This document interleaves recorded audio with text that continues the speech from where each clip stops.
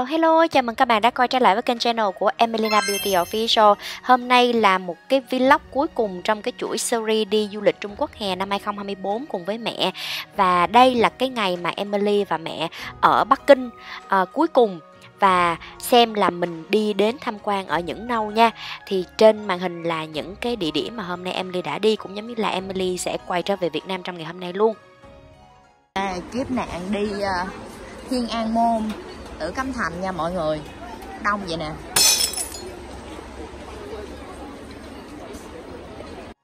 Ngày hôm nay là ngày thứ năm mà Emily và mẹ cũng giống như đoàn của mình đi uh, Trung Quốc và mình đang có mặt ở Bắc Kinh. Và cái địa điểm đầu tiên trong ngày mà mình tham quan đó là quảng trường Thiên An Môn và Tử Cấm Thành. Thì uh, sau cái kiếp nạn là các bạn có thể thấy là xếp hàng. Emily nhớ là khoảng 45 phút á thì cuối cùng là mình đã đến được cái cổng đây là quảng trường à, Thiên An Môn Thiên An Mẫn nha mọi người. Thì à, ở bên này của mình sẽ là ngân hàng à, của Trung Quốc ngân hàng nhà nước á.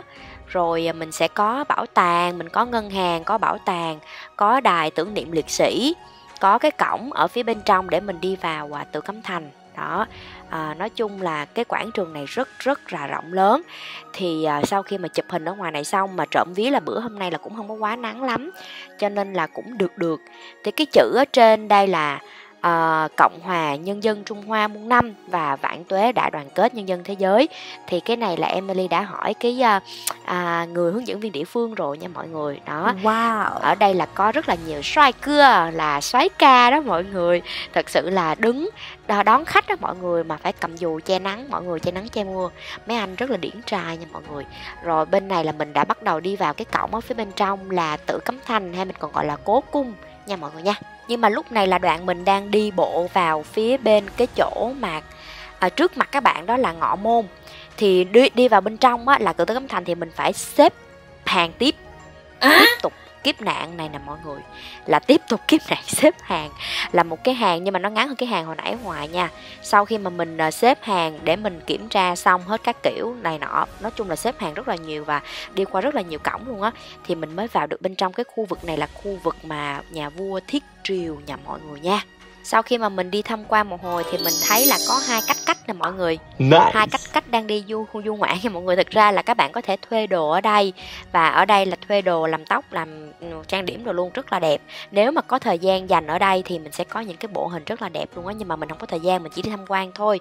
Và để cung cấp cho các bạn một số thông tin về tự cấm thành thì tự cấm thành là một trong những cái kiến trúc cổ lớn nhất và được bảo tồn tốt nhất ở Trung Quốc được xây dựng từ năm 1406 đến năm 1420 tự Cấm Thành bao gồm 980 tòa nhà, được cho là có 9.999 phòng và chiếm diện tích lên đến 720.000 m2. Nói chung là nó rất là rộng lớn và để các bạn có thể dành cả ngày đi đến đây cũng không hết đâu. Làm sao các bạn có thể đi hết 9.999 phòng được đúng không? Là những nơi mà vua Thiết Triều, vua ăn, vua ở, các chỗ của cung tần mỹ nữ, của thái giám, của hoàng hậu, của các ờ, quý phi ở. Nói chung là đây là một cái di tích mà các bạn đến Bắc Kinh các bạn nhớ đi tham quan nha.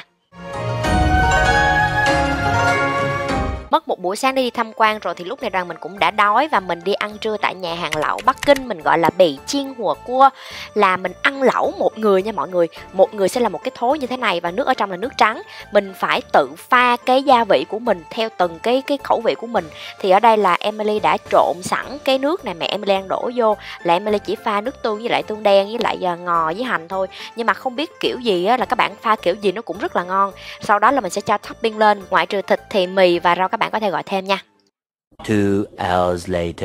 Ăn xong thì đoàn mình đứng đợi xe buýt mà các bạn nhìn thấy đây là cái bản đồ khu vực à, Bắc Kinh nha mọi người toàn bộ là chữ tiếng Hoa hết 100% không có một chữ tiếng Anh nào đâu nha mọi người nha còn đây là cái vị trí mà đoàn mình đang đứng là Thiên An Môn Cố Cung cái chỗ mà hồi nãy mình mới tham quan đó là cái chỗ này nè.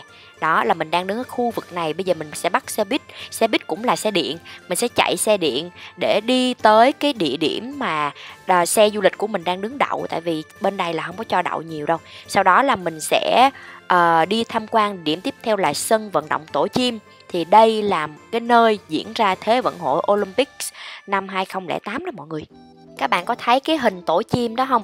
Thì tại vì đây là một cái sân vận động quốc gia Bắc Kinh được xây dựng để nhằm phục vụ cho Thế vận hội Olympic 2008 mà xây theo cái kiến trúc giống như là tổ chim nên được gọi là sân vận động tổ chim vậy thôi. Đây cũng là một cái biểu tượng văn hóa mới của thành phố Bắc Kinh và cả đất nước Trung Quốc. Người dân Trung Quốc rất là tự hào.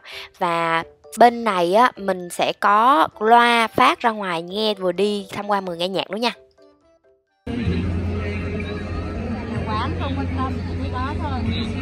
Sân vận động quốc gia trong nhà.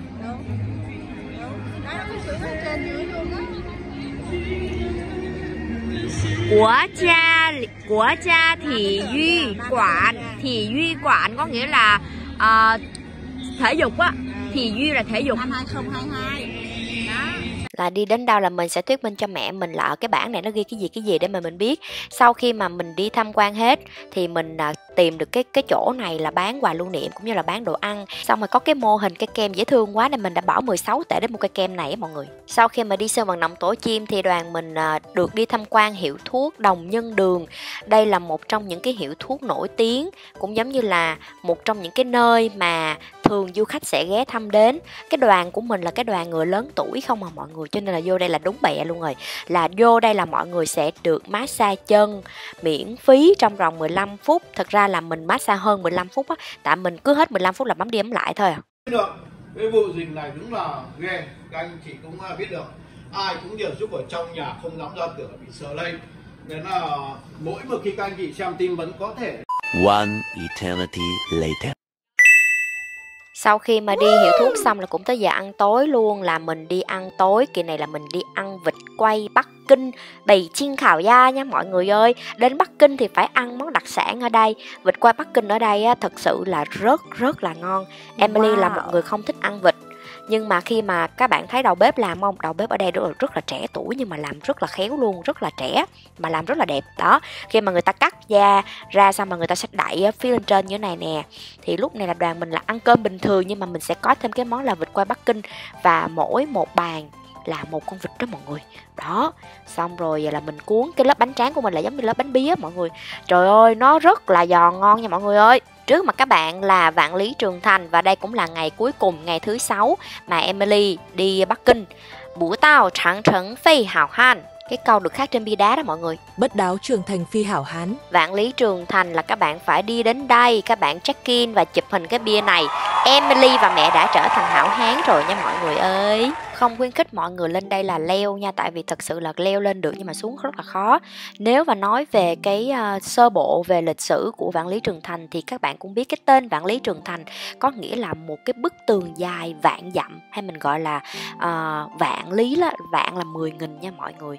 Thì ở đây uh, theo như lịch sử là uh, đời vua Tần Thủy Hoàng á, cho ra lệnh nối lại nếu mà nếu mà tính từ thời thế kỷ thứ năm trước công nguyên cho đến thế kỷ thứ 16 thì đã được xây dựng rồi. Và Vạn Lý Trường Thành là xây dựng lên nhằm à, bảo vệ đất nước Trung Hoa khỏi sự xâm chiếm xâm nhập của các khu vực lân cận thuộc à, Mông Cổ và Mãn Châu thời đó đó mọi người. Nhưng mà nói chung là nói quá là dài đi. Theo như là à, mình được thông tin thì là có thể à, ước đoán là cái chiều dài có thể hơn 6.000 km nhưng cũng có một số tài liệu thì lại nói là có chiều dài là hơn 21.000 km lận.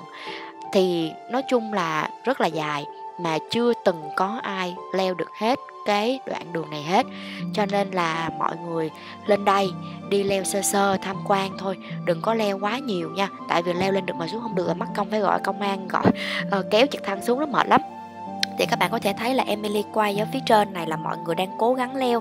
Nhiều lắm cũng leo tầm khoảng 2 3 cái pháo đài thôi. Không có leo quá nhiều nha, mọi người khuyến cáo, đặc biệt là những người lớn tuổi nha. Được cái là lúc này lên á, thì các bạn nhìn thấy thời tiết không? Rất là đẹp, rất là đẹp luôn.